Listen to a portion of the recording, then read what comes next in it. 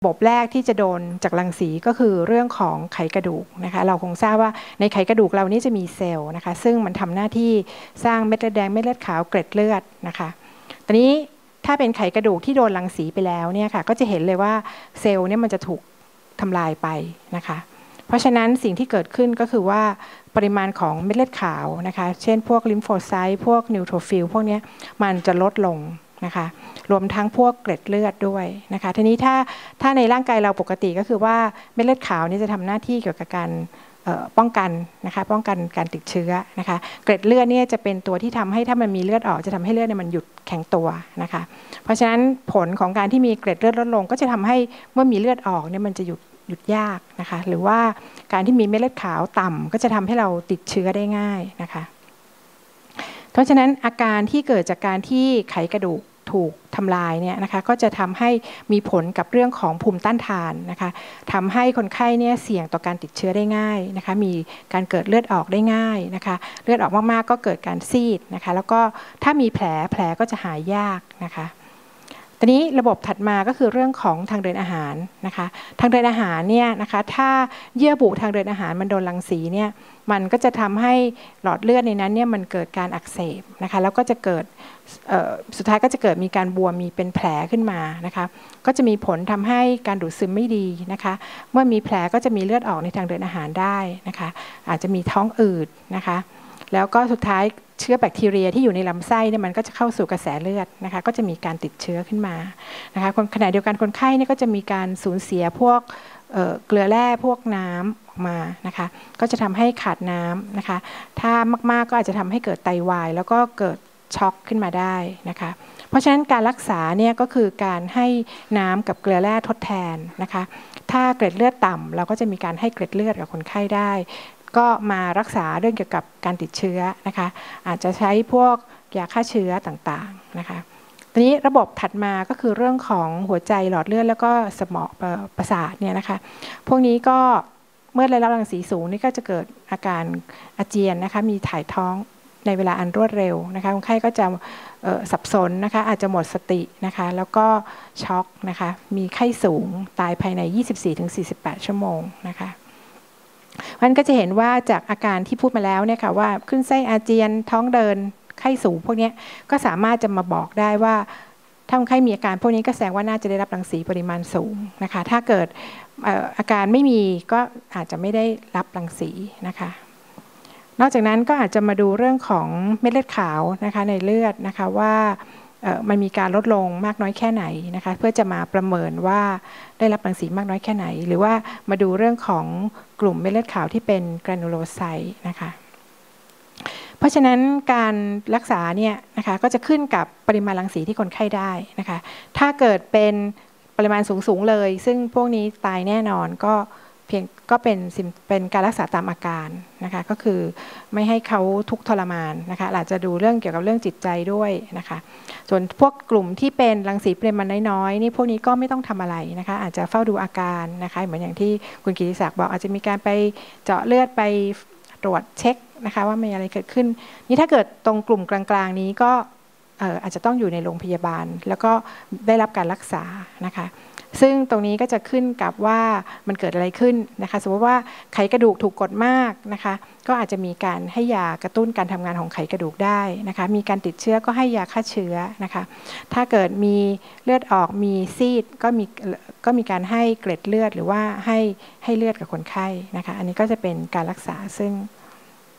ตอนนี้อีกนอกจาก acute radiation syndrome ที่ว่าแล้วก็อาจจะเป็นเรื่องของการที่ได้รับรังสีเป็นเฉพาะที่นะคะ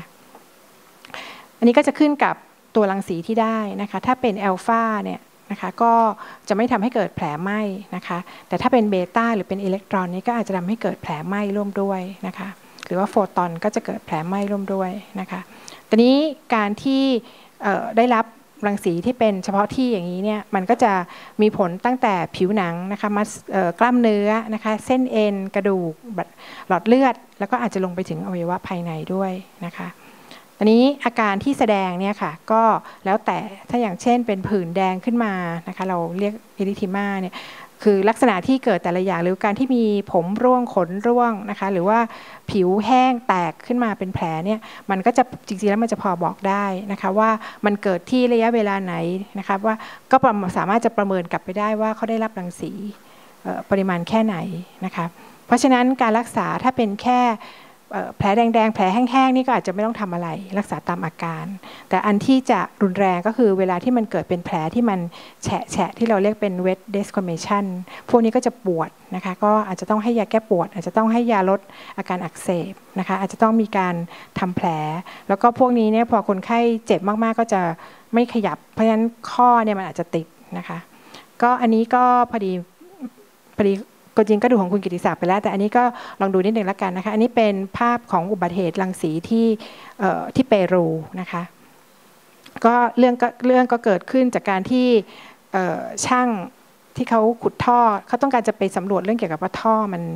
รั่วหรือเปล่า เขาก็ใช้เขาเรียก pigtail เนี่ยนะคะ อันนี้เป็นซอสของรังสี ตอนนี้ก็ไม่ด้วยเหตุผลกลใดก็ไม่ทราบ ช่างคนหนึ่งเนี่ยก็เกิดหยิบเอาไอ้ไอ้ไอ้ไอ้ซอสอันนี้ใส่กระเป๋ากางเกง ใส่กระเป๋าหลังไปนะคะ แล้วก็เอากลับบ้าน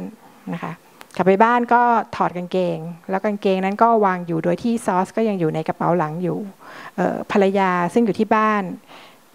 บังเอิญมานั่งอยู่ตรงใกล้ๆกับกางเกง แล้วก็ให้ลูกกินนมนะคะ อันนี้ก็วันที่เขาเอาซอสกลับบ้านเนี่ยนะคะ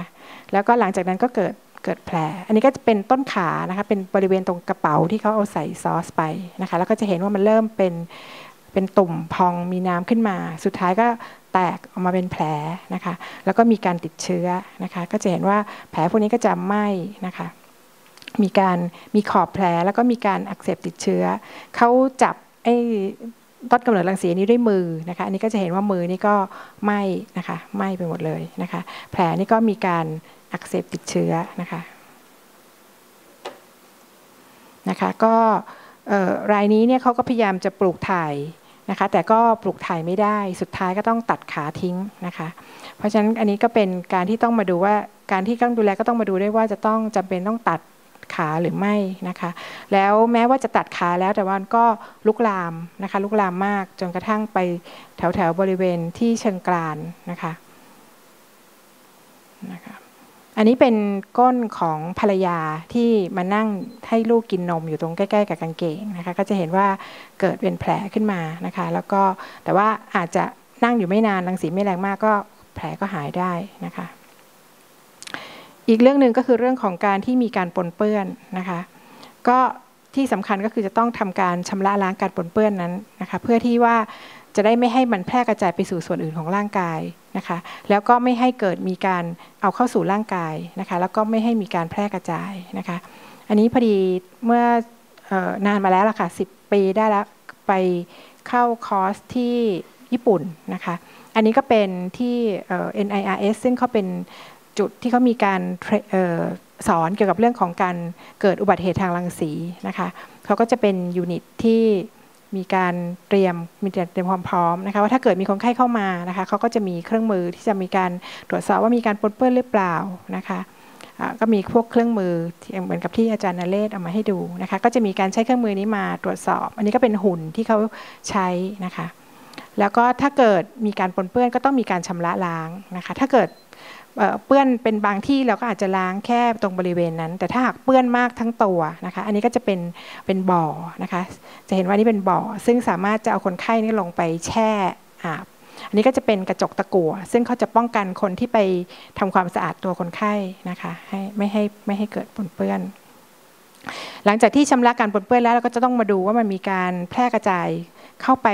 ข้างในร่างกายหรือเปล่านะคะอันนี้ก็เป็นลักษณะของเราเรียกเป็น whole body counter นะคะอันนี้สามารถจะวัด